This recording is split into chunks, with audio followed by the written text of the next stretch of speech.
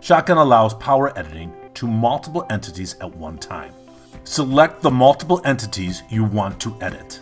Right click, come down and choose Edit Selected. Here you'll see all the columns that are currently displayed. If you want to access columns that are not displayed, click where it reads More Fields, and then you can choose what field you want to edit. In this case, we want to change the type of asset this is. Currently, they are all set to prop. Clicking on the field exposes all the possible asset types. I'll choose matte painting and then click Save.